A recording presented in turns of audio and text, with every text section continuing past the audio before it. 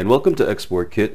In this example I'm going to demonstrate how you can optimize your design for better free exports. Uh, in essence it's the use of the free server so this is an easy way to test and it'll make your testing more efficient.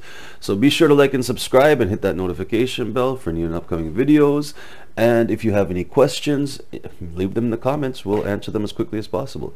So let's jump in. Now we have a design and on the outset this design looks minimal and simplistic.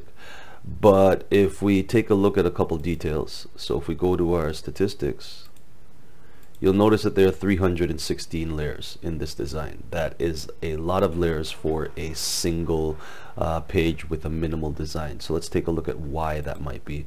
We have a couple of uh, typical layers here for text uh, there's nothing too special and we're looking in the layer section as well. Uh, nothing too special about the button. But if we go into the top image you'll see that we have groups of vectors and this is in essence what's making up our hundreds of layers. Now as a free user you're limited to a maximum of 40 layers uh, for your export. So we're gonna quickly look at how we can turn this down from 316 to uh, possibly as small as we can get and now, uh, in essence, once we take a look at this, you'll see that for this itself, it's a single group, but inside we have a lot of vectors. And unless you're planning on using each vector individually, uh, it's really not necessary to, in essence, have each individual object because a developer, if they don't have a use for it, they're not going to want you to basically give them extra code. So the quick way around this is to just simply on the group itself or group your objects if they're not already, add an image tag.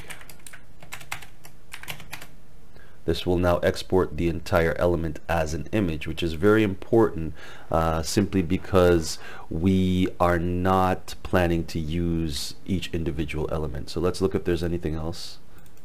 Uh, we see here there's two vectors here. Let's turn this into an image as well.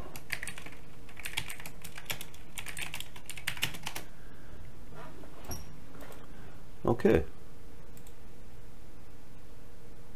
So this was originally 316 layers.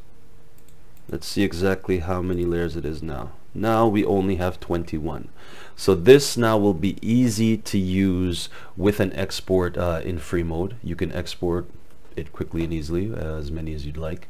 So just keep this in mind. If you have a lot of vectors, a lot of artwork, just try to take a group of all the actual elements and just add an image tag. It'll make your exports much faster and easier.